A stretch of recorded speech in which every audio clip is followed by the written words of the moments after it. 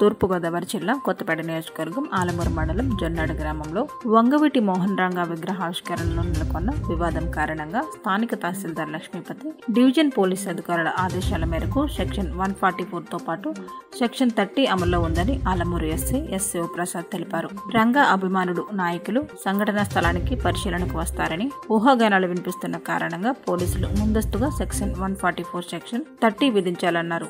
గ్రామంలో అన్ని ముఖ్య కూడలిలో వీడియో కెమెరాలను ఏర్పాటు చేశామని వాటి ఆధారంగా పోలీస్ రెవెన్యూ వారి నిబంధనలు ఎవరైనా అతిక్రమిస్తే కేసులు నమోదు చేసి చట్టపరమైన చర్యలు తీసుకుంటామని ఎస్ఐ హెచ్చరించారు. గారు సెక్షన్ అదేవిధంగా సెక్షన్ థర్టీ కూడా అమల్లో ఉంది. కొంతమంది అపోహ ఏంటంటే ఇక్కడ ఏదో జరిగిపోతుంది ఇక్కడికి రావాలని కొంతమంది ప్రేరేపిస్తున్నారు. అటువంటి అటువంటిది ఏమీ పెట్టుకోవద్దు.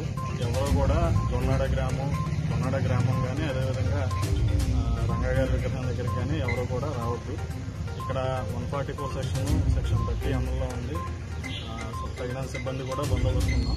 అనవసరంగా వచ్చి కేసుల్లో ఇన్వాల్వ్ అవుతుంది